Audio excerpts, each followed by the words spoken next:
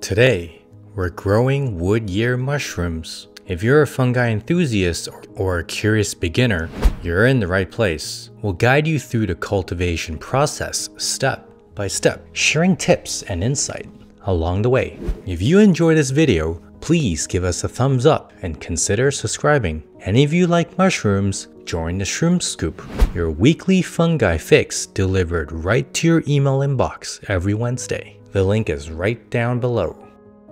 Wood-ear mushrooms are a unique species with a distinct texture and shape. They contain valuable nutrients like fiber, protein, iron, and vitamin B2. Used traditionally in Asia for their health-enhancing properties, they're known to bolster the immune system and improve circulation. Beyond their health benefits, they're a versatile culinary ingredient, adding a subtle earthy flavor and unique texture to various dishes.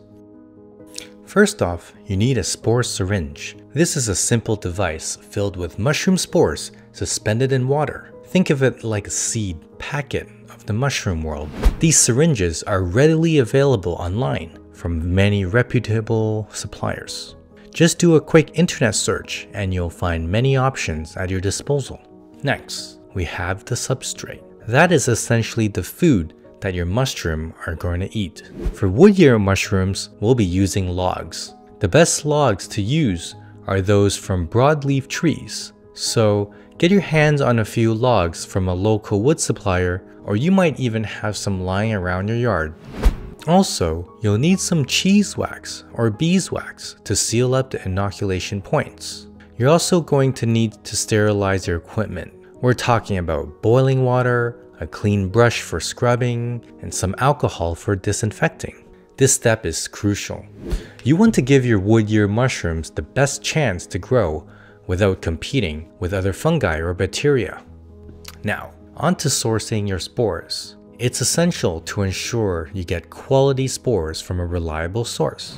Remember, the better the spores, the better your chances of a successful crop. Look for vendors with positive reviews. Don't be afraid to ask questions. Reach out to the vendor and discuss your needs. They're usually more than willing to help you.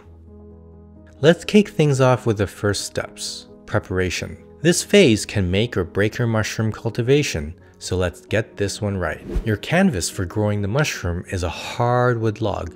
Wood-ear mushrooms best grow on oak, beech, or maple. You're looking for a log about 3 to 8 inches across and 3 to 4 feet long. Freshly cut logs are the best, ideally lopped off within the last 6 weeks.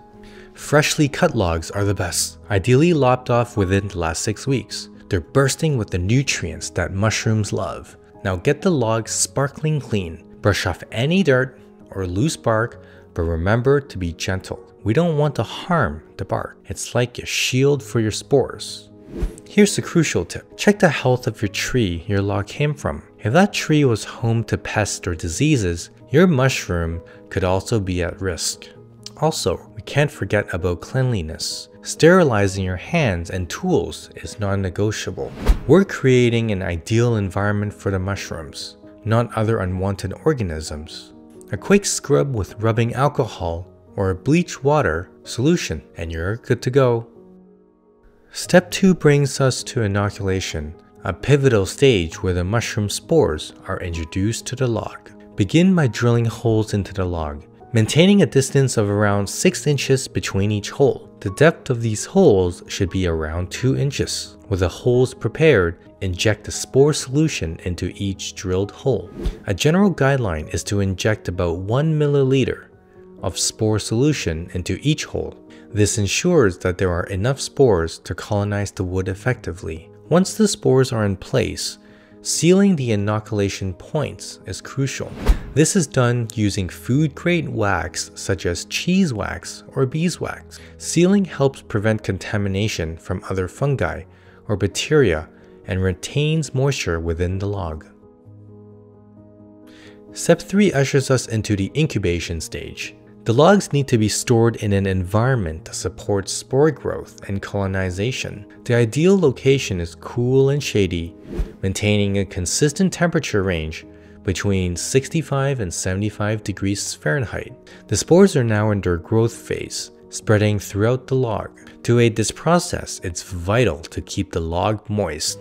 So remember to mist the log with water regularly. This incubation period can vary greatly, ranging from 6 months to even a year, so patience is key during the stage. The storage area should have a high humidity level, aiming for around 80 to 90%. Regular misting with non-chlorinated water is an effective way to maintain its moisture level. If you're in a region prone to dry conditions, consider using a breathable material such as burlap to cover the log to retain humidity. Lastly, ensure the logs are not placed directly on the ground. Use bricks, stones, wood pallets to elevate them. This would prevent rot. Step 4 involves the fruiting stage. When colonizing of the log is complete, the mushroom begins to fruit. Initial signs are small, white bumps on the log. These mushrooms will mature into full-sized wood ear mushrooms in the following days. Once they attain a mature size, typically between 2 and 4 inches in diameter, they are ready for harvest when they're that big. You should harvest them by cutting off at the base with a sharp knife. Fruiting is typically triggered by a substantial drop in temperature or heavy rainfall. These environmental changes alert colonized log to start mushroom production. Once the mushroom emerge, they grow quickly, often reaching a full size within the week. It's extremely important to monitor their growth to avoid overgrowth, which could lead to toughening and the loss of mushroom's distinct texture. Harvesting The culmination of your efforts Harvesting your wood ear mushrooms is a very exciting time.